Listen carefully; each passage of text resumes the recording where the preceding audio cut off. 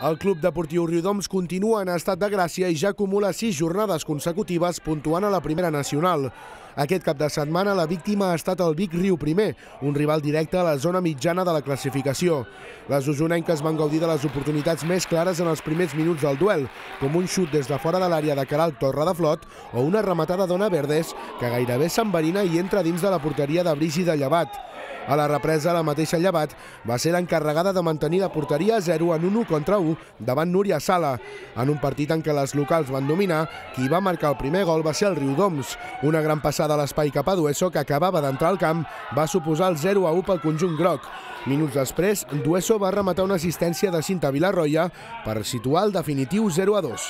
Podem dir que el resultat de 0-2 ha sigut molt avoltat, perquè s'ha vist al terreny de joc, el Vic té bon equip, tenen molt bon equip, juguen molt bé a futbol, mm, crec que mereixien haver fet algun gol, algun gol més, de, bueno, no han fet algun gol, però al final el futbol és això, es tracta d'intentar deixar la porteria a zero i intentar aprofitar les ocasions que tenim. A la segona part, sobretot, hem, hem aprofitat les que hem tingut i d'això es tracta. Amb aquest triomf, el Riudoms encadena sis jornades consecutives puntuant just abans de rebre la visita de l'Atlètic Balears, segon classificat de la primera nacional. Un triomf local podria deixar les de Lucha a 5 punts de la zona d'ascens.